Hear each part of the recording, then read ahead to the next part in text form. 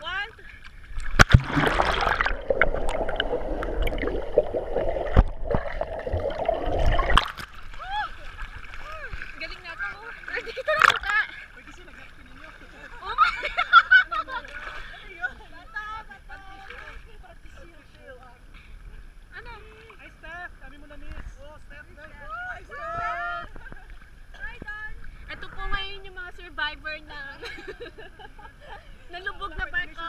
Aton kasi, ayun oh, yung, yung po yung barko na, na sinasakyan namin, tapos wala na siyang gasolina. So, nasta